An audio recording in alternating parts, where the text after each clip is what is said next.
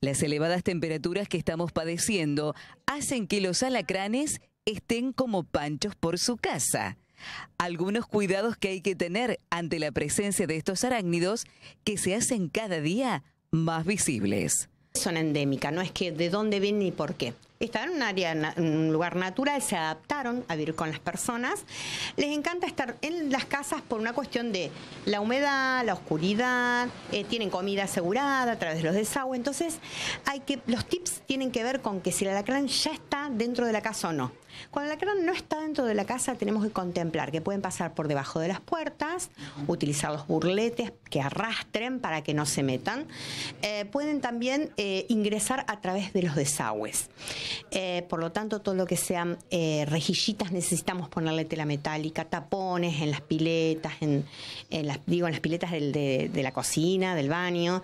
Em, es decir, tenemos que aislar el afuera del adentro, el de, lo de abajo de lo de arriba, de modo tal que pensar en la casa como una posibilidad de que no, digamos, que no tenga puertas de ingreso. Ahora, cuando los lacranes están adentro se complica bastante porque los insecticidas no son muy efectivos porque estos bichitos tienen como unos mm, agujeritos por los que respiran, que los cierran y a partir de ello eh, directamente escapan. Se irritan, no se matan, no, se mueren, pero que pueden llegar a picar con más razón. Eh, entonces tenemos que tratar de tener mucho cuidado. Tres lugares claves. Uno, la cama, el otro, el calzado, el otro, la ropa. Primer punto, la cama, la retiramos de la pared nosotros logramos encontrar a través de la cinta esa eh, ancha de embalaje, le damos una vueltita a la, a la pata y otra vueltita más. Es decir, le pegamos la cinta y como es resbalosa, no trepan la cama. Como separamos de la pared, no tiene modo el alacrán. Y obviamente que no arrastren las sábanas del piso. Porque el 30 y pico por ciento de las picaduras se dan en la cama. La segunda situación es el calzado. Cuando la criaturita se va a calzar en la zapatilla, puede estar el alacrán, porque es lugar oscurito y húmedo. Recuerden que estos bichitos son nocturnos y eh, obviamente buscan los lugares húmedos. Pueden estar seis meses sin comer, pero no pueden estar ni cuatro días sin humedad. Así que van a resguardarse ahí. ¿Qué hacemos? Las zapatillitas las ponemos directamente dentro de una bolsita plástica, le hacemos un moño. Los alacranes no tienen manera de desatar un nudo de una bolsa, de romper las bolsas. Tienen solo se activan esas pinzas para cazar eh, grillito, para cazar eh, cucarachas y demás bichos que pueden estar comiendo. Y de esa manera salvamos 20 y pico por 28% de las picaduras se dan en el momento de calzar. Sí, son bastante graves porque eh, lo aplastan con el cuerpo, con el peso del cuerpo, se siente morir y descarga toda la ponzoña. Ese es el riesgo también mayor.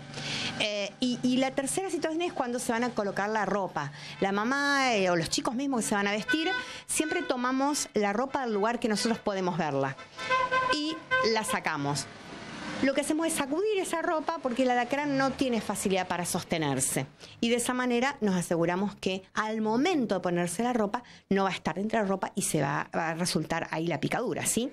Hay un mito que cuando en la casa hay cucarachas hay alacranes, ¿es así? Y es relativo, o sea, ¿Cuál es la situación? En realidad, un alacrán no sabe si hay cucarachas en una casa, sí o no. Él sabe que va por una cañería que lo conduce, primero, va, por un lugar seguro, oscuro, que puede haber cucarachas en las cañerías, y de repente entra a una casa y va a estar dando vueltas porque camina muchísimo en busca de, insectos. Probablemente no se establezca en la casa si no hay comida, pero en realidad él mientras tanto va a poder, pueden ingresar uno, dos, diez, todos aquellos que estén, porque tengamos en cuenta, la verdad es que los desagües son la gran solución, ¿se acuerdan de la peste negra y todos los problemas eh, que, ha habido de, de, epidemias? Muchos están, estaban relacionados con los desagües. El tener un desagüe local es fantástico, pero a su vez comunica casas que nunca hubo alacranes con aquellas que históricamente han tenido. Casas que acumulan leña, escombros con alacranes y otras que no. Al ingresar por el sistema de cloacas tienen puertas abiertas y fáciles por eso hablamos y, repetimos esta necesidad de poner telitas metálicas en todo lo que sean eh, desagües y también las cámaras sépticas que estén bien selladitas. ¿sí? Asimismo, el intenso calor generó en estos días una importante invasión de grillos que es poco frecuente. ¿Qué pasa cuando las temperaturas son muy altas? Eclosionan todos los huevos, los colocados antes, durante, después, da, se aceleran todos los ciclos biológicos, entonces la población y el, eh, la, cantidad de, ejemplares va a ser mucho mayor.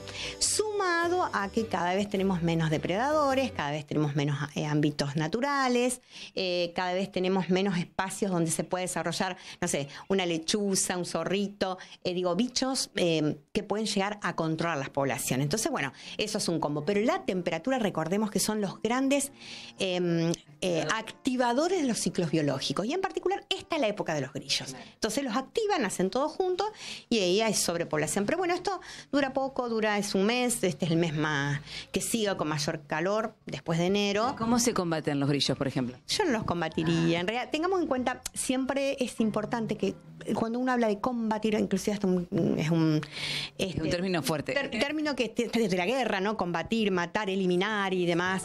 Eh, en realidad el control tiene que ver con colocar barreras físicas. Es decir, si uno tiene telas metálicas, tiene burletes que arrastran, eh, obviamente es lo mismo que evita que entre un alacrán en su casa, evita que entre un mosquito si hay telas metálicas. Uno sabe que hay situaciones en las que las viviendas no situaciones económicas que no permiten esto. Pero en realidad, con mucha tranquilidad, el grillo no tiene ninguna toxina, maldad, daño. Lo, lo, agarramos, lo tomamos, lo sacamos afuera. Él tampoco quiere estar adentro. ¿Saben por qué? Porque no tienen la posibilidad de comer, o sí, algunas cosas que no son lo que habitualmente comen, porque son omnívoros, pero bueno, afuera pueden comer raíces, cualquier cosita que la naturaleza les da. Adentro tienen que buscar fibra, ropa y, digamos, y destruyen, pero no porque quieran.